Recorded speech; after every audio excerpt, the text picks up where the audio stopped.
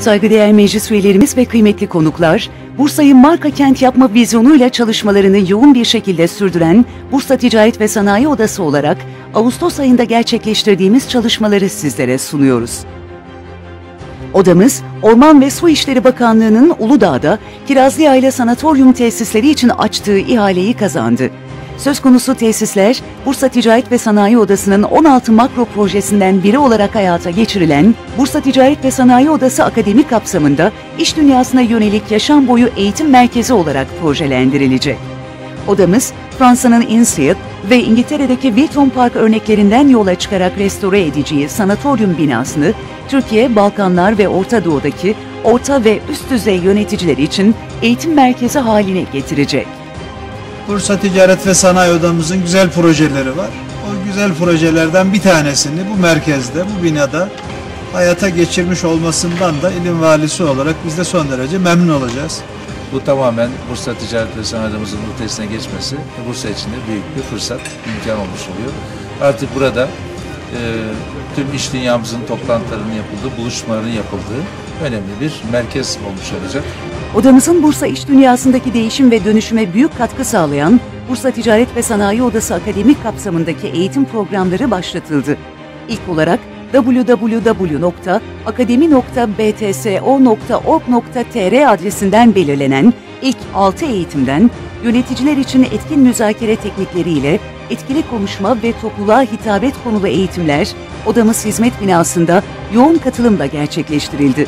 Eğitimlerini tamamlayan kursiyerler sertifikalarını Başkanımız İbrahim Burkay, Meclis Başkanımız Remzi Topuk ve yönetim kurulu üyelerimiz Aytuğ Onur'la Fahrettin Gülener'in elinden aldılar. BTSO Akademi projesiyle insan kıymetlerimize yönelik eğitimler düzenliyoruz. Bursa'mıza ilk iki eğitimimizi sunduk. Yoğun bir katılım sağladık. Bursa Ticaret Sanayi Odası meclis üyelerinin de değerli katılımlarını bekliyoruz. Biz Bursa olarak Türkiye ihracatının motoruyuz ve bu yeteneğimizi sürdürebilmek için insan kıymetlerimizi en üstün şekilde geliştirmeliyiz. Yetenek havuzlarımızı geliştirmeliyiz. Bu çerçevede BTSO Akademi Bursa'mıza ve Türkiye'mize çok önemli hizmetler sunacaktır. Sanatoryum binamızda BTSO Akademi olarak yaşam boyu eğitim merkezi olarak değerlendireceğiz ve Bursa'mıza ve Türkiye'mize çok önemli eğitimleri biz burada gerçekleştirmeyi planlıyoruz. Odamız Küresel Fuar Acentesi projesiyle üyelerimizi Berlin'de düzenlenecek Raylı Sistemler ve Ulaşım Teknolojileri Fuarı InnoTrans 2014'e götürmeye hazırlanıyor. Fuarlar kapsamında düzenlenen bilgilendirme ve sinerji toplantılarının ilki InnoTrans Fuarı bilgilendirme toplantısına üyelerimiz yoğun ilgi gösterdi. Yönetim Kurulu üyemiz Cüneyt Şener'in başkanlığında düzenlenen toplantıya katılan üyelerimize ulaşım, konaklama ve finansman destekleri hakkında bilgilendirme yapıldı. 2000 aşkın sektör mensubu en son yeniliklerini, en inovatif ürünlerini Berlin'deki dev fuarda sergileyeceklerdir. Biz de BTS olarak bu sektörde faaliyet gösteren, gösterme potansiyeli olan 120 aşkın üyemizi sektörün en önemli paydaşlarıyla birlikte bu önemli buluşmaya taşıyoruz. Bu projede başlarken temel hedeflerimizden biri olan özel uçak ile Bursa'dan uçup Bursa'ya dönecek organizasyonu ilk kez bu fuar kapsamında gerçekleştirecek olmamız da bize ayrı bir heyecan ve mutluluk vermektedir. Özellikle BTSO'nun sayın meclis üyelerinin benzer inovatif çalışmalarıyla diğer sektörlerimize de derinlik ve farklılık katacak yeni uygulamalarda bize sağlayacakları katkı ve destek bizim için önemli itici güçtür. Küresel Fuar Acentesi projemiz kapsamında seyahat acentelerine yönelik bilgilendirme toplantısı gerçekleştirildi. Yönetim kurulu üyelerimiz Cüneyt Şener ve Şakir Umutkan'ın katıldığı toplantıda seyahat acentelerine teklif süreçleri hakkında bilgi verildi. Osman Gazi Belediye Başkanı Mustafa Dündar ve beraberindeki heyet, Yönetim Kurulu Başkanımız İbrahim Burkay, Meclis Başkanımız Remzi Topuk ve Yönetim Kurulu üyelerimizle bir araya geldi. Görüşmede odamızın 16 makro projesinden birisi olan ve Haziran ayında Büyükşehir Belediyesi ile imzalanan işbirliği protokolüyle startı verilen Payitaht Çarşı projesi hakkında fikir alışverişinde bulunuldu. Büyükşehir Belediyemiz ile BTSO olarak Mayıs ayında yaptığımız stratejik ortaklık protokolü Bursa'ya değer katmak adına çok büyük anlam taşıyor. 16 makro projemizden biri olan Payitaht Çarşı projesi bu büyük işbirliğiyle hayata geçiyor. Burayı dünya çapında bir cazibe merkezi haline getirmek istiyoruz. Büyükşehir Belediye'mizin yanı sıra Osman Gazi Belediye'miz de sürece dahil olarak Payitaht Çarşı projesinin bir an evvel en güzel haliyle hayata geçmesi için önemli bir rol üstlendi. Bu anlamda şahsım ve BTSO adına öncelikle Büyükşehir Belediye Başkanımız Sayın Recep Altepe'ye ve ekibine aynı zamanda Osman Gazi Belediye Başkanı Mustafa Dündar ve ekibine teşekkürlerimi sunuyorum. Yönetim Kurulu üyemiz Hasan Gürses, 15. Meslek Komitemiz Başkanı Halil Özkan ve komite üyeleri Büyükşehir Belediye Başkanı Recep Altepe'yi makamında ziyaret etti. Ziyarette hurdacılar için bir bölge oluşturulması konusunda fikir alışverişinde bulunuldu. Odamız Bursa sanayisinin küresel ekonomide rekabet edebilmesi için ihtiyaç duyduğu nitelikli iş gücünün yetiştirilmesi ve çalışanlarının mesleki yeterliliklerini tarafsız ve akredite olmuş kurumlarca değerlendirerek onların gelişimine katkı sağlamak için kolları sıvadı. Bu kapsamda Mesleki Yeterlilik Kurumu tarafından yetkilendirilmiş belgelendirme kuruluşu olan Bursa Ticaret ve Sanayi Odası, Mesleki Yeterlilik Sınav ve Belgelendirme Merkezi'nin açılması ve devreye alınması Bursa'da ilk defa odamız öncülüğünde gerçekleştirildi. Merkezin iktisadi kuruluşla ilgili genel kurul ve müdürler toplantıları da yapıldı.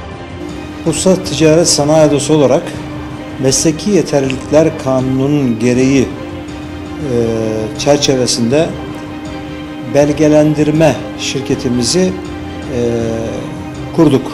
1 Kasım'dan itibaren e, belgelendirme sınavlarına başlıyoruz. Şu anda 10 e, branşta belgelendirme için hazırlığımız var. Yeterli meslek sahibi, mesleğinde yeterlilik belgesi olan ve dünyaya mal satabileceğimiz şartları hazırlayan bir adımı attık.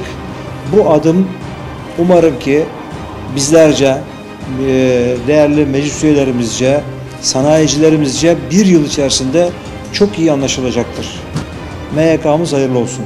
Odamız bünyesinde faaliyet gösteren Bootcamp, Bursa Emniyet Müdürlüğü Asayiş ve Çocuk Şube Müdürlüğü ile işbirliği yapılarak düzenlenen Telden araba tasarım kursuna katılan 15 çocuk sertifikalarını aldı.